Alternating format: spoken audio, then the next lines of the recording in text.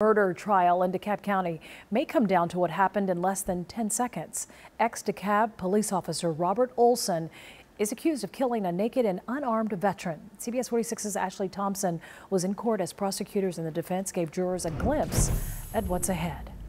A jury of seven women and five men were seated this morning. They heard from several witnesses who laid out exactly what happened on March 9th, 2015. Carolyn Giummo told the jury her 26 year old son, Anthony Hill, was struggling with mental illness when he was shot and killed in 2015. Was he diagnosed with any mental illnesses while serving in the Air Force?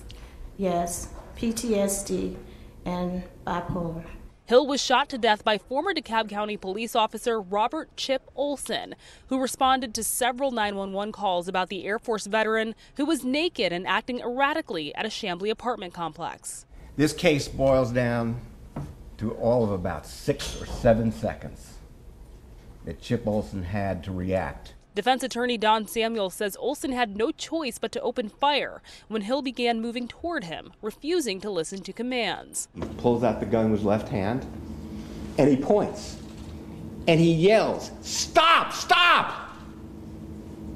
And he doesn't stop. Prosecutors say Hill was unarmed in the midst of a mental episode and shouldn't have been shot. His arms were by his side, his hands were visible, he was stark naked. He had no clothes on, nowhere to hide a weapon, no weapon in his hand. The jury saw videos of Hill before the shooting, naked, at times crawling on the ground and swinging from a balcony. Several witnesses, including the apartment manager who called 911, were called to testify. I went from there, I was like, why did you shoot him? We shot him. So it was, it was not my intention for him to be shot. The trial continues tomorrow here at the DeKalb County Courthouse. In DeKalb County, I'm Ashley Thompson, CBS 46 News.